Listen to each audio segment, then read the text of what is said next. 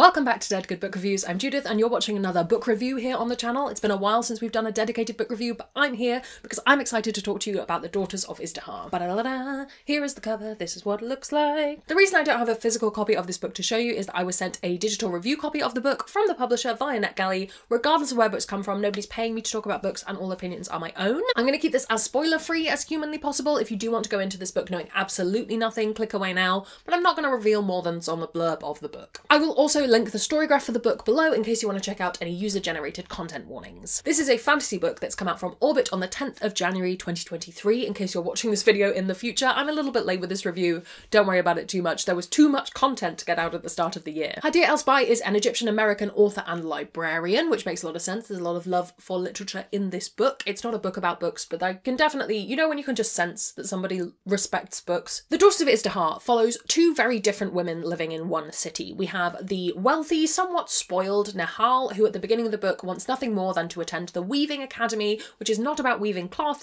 it is about learning to wield her elemental powers. She is a water weaver and she would like to go to the academy and learn. However, though the academy now takes women, they won't take them without permission from the man who is in charge of them, their father if they're unmarried or their husband if they are. Giorgina is a poorer woman, she is a bookshop worker and secretly is an earth weaver. She has earth elemental powers and she is working with the Daughters of Who are a group in the city who want to encourage women's rights. They are fighting for women's rights, particularly the right to vote. Nico, who is Nehal's new husband that she is uh, arranged marriage to, in, uh, in an arranged marriage with that's probably a better way of phrasing that, uh, ends up bringing the two women together in a somewhat unlikely way. And there's a lot of politics going on in the city, and ultimately it is this uh, fight for women's rights at the centre of it all. In that way that always happens for fantasy heroes and heroines, they find themselves swept up in something much bigger than themselves. I thought the world for this book was really cool. It is a world inspired by, but not um, directly referencing, the history of contemporary Egypt, uh, which I think was really interesting uh, for one thing, and I think uh, made a really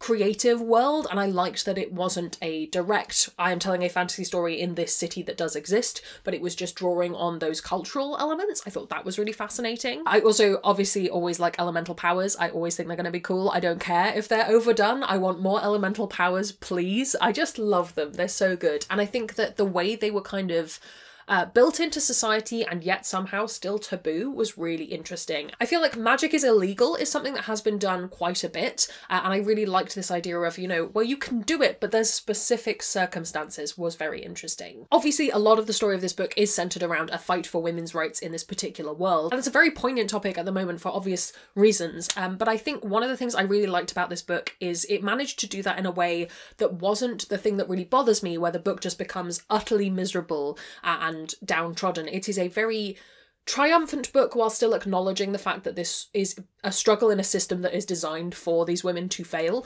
Um, it's really un- unfair things happen, unjust things happen, but the overall feeling of the book is this striving for change, which I thought was really powerful. So, where in the past I've read a lot of books and I have critiqued a lot of books that are, uh, we're telling the story of these women, and then you read it and you're just like, oh, I'm just sad now. This felt much more impactful than that. I'm also going to throw in a, a fourth pro for this book. It is bisexual. That is not a secret. It is in one of the ISBNs is like a categorization for bisexual, which I need to look up more.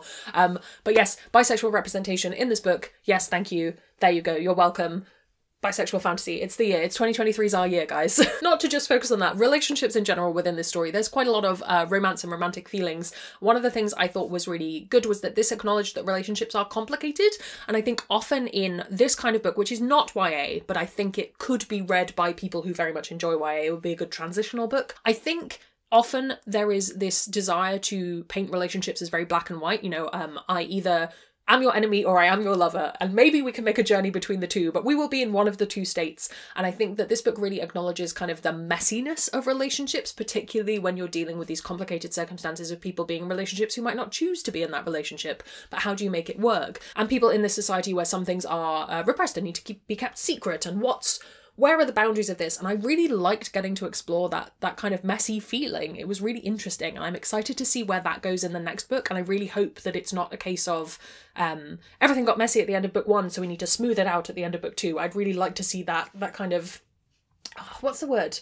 Um, complicated relationship move forward. I think it would be interesting. I mentioned this isn't YA. I think it could be read by people who do enjoy YA. I think if you're a person where YA fantasy is not your thing at all, I wouldn't worry about it in this context. I just think that it has a lot of those similar, familiar uh, tropes and ideas within this adult fantasy book. I think when I read this towards the end of 2022, I wasn't expecting it to stick with me in the way that it did, uh, and possibly it's because I was reading so much stuff that I really wasn't enjoying towards the end of the year, uh, and just in contrast, this felt much more interesting and much more well written, I suppose. Um, but I think also there's something to be said for um, just good books. Uh, there's a lot of things that have felt really mediocre recently. I've had a lot of things that I've just been kind of rating like three and a half, four stars and moving on with my life and not remembering them. And The Daughters of Izdihar is one where I really wanted to sit down and film this review because, yeah, it definitely did. Uh, get me excited. And even though it's a fantasy duology, which might mean that book two is not as good, I still hold out hope and I'm making this video to remind future me that I really enjoyed book one.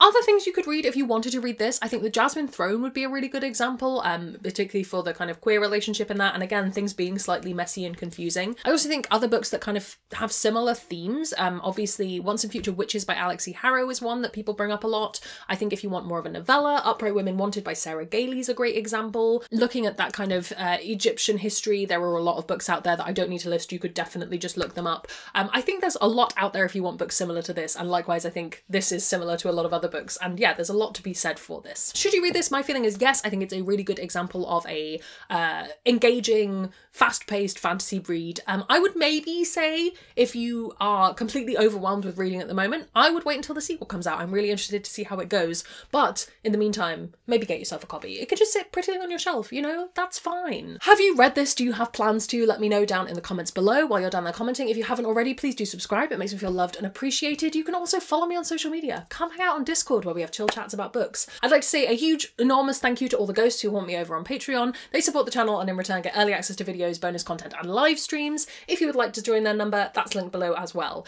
Thank you so much for watching. That's all from me and I will see you in the next one.